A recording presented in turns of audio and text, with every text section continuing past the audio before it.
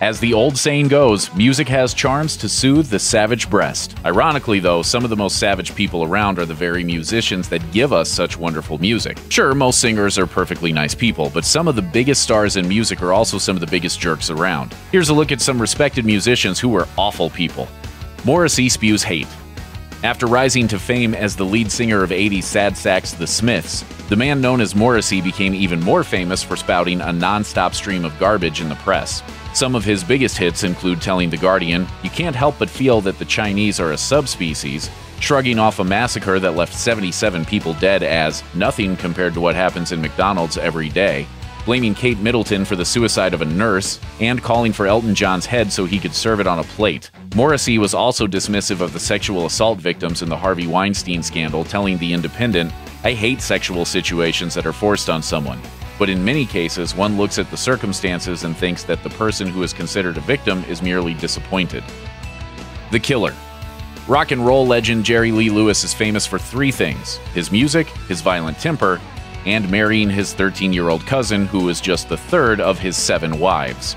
Just how he got the nickname The Killer is unclear, though Lewis claims it has nothing to do with the time he tried to strangle one of his teachers with a necktie. It also predates the incident where he shot his own bass player in the chest, or the time he showed up at Graceland drunk and waving a gun. He swore he had no intention of harming anyone, but Elvis disagreed and called the police. Can you really blame him? The Many Sins of Miles Davis. Jazz legend Miles Davis redefined music itself, but he also redefined what it means to be a misanthrope. Some of his lesser offenses include his massive vanity, as the star would condemn critics for praising other artists claiming they were just out to take away his spotlight. Much more serious were the heroin and cocaine addictions. In order to support his costly habits, Davis became a pimp. You did a lot of bad things. Like what? Well, you said you were pimping for a while. Is that Beat the bad? habit. And his addictions may have contributed to a lifetime of domestic violence and spousal abuse. Ex wife Frances Davis has claimed she wasn't just terrified of him, she ran away a few times convinced he was going to kill her. He admitted to the whole sordid trend of beating his wives in his autobiography Miles, and even admitted he approved of other men hitting their wives and girlfriends to keep them in line. Leadbelly's Hard Heart.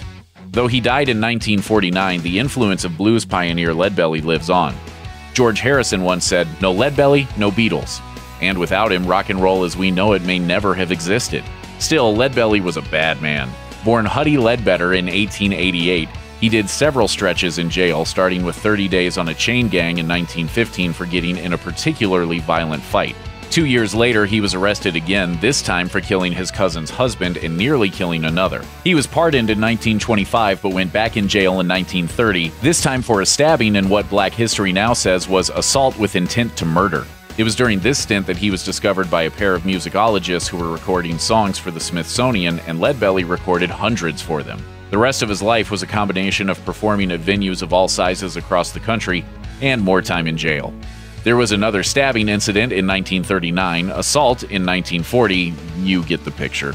He was diagnosed with Lou Gehrig's disease only months before he died from it, leaving behind a very dark and complicated legacy. Alexander Scriabin dances with the devil. Alexander Scriabin was a Russian composer who was touched by both genius and madness. After becoming interested in religious philosophy and the occult, he became more and more convinced he was destined to change the world. And by change, he meant bring about the end times. He started writing a massive composition called the Mysterium, which Gramophone says he envisioned as a week long multimedia event including music, dance, lights, poetry, perfumes, and incenses that would be performed once in the Himalayan mountains. He hoped the performance would trigger the apocalypse and that humanity would be replaced by nobler beings.